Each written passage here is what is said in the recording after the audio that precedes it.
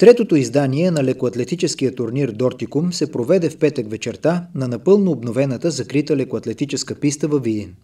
В него се включиха над 150 участника на възраст между 5 и 15 години от България, от градовете Видин, София, Пловдив, Плевен, Враца и други, както и от съседните държави Сърбия и Румъния. Момичетата и момчетата се състезаваха в спринтови дисциплини 60 метра бягане с препятствия, скок на дължина и скок на височина. Целта на спортното събитие е да популяризира леката атлетика сред подрастващите, да даде възможност за изява на децата и те да бъдат привлечени за целенасочен тренировачен процес.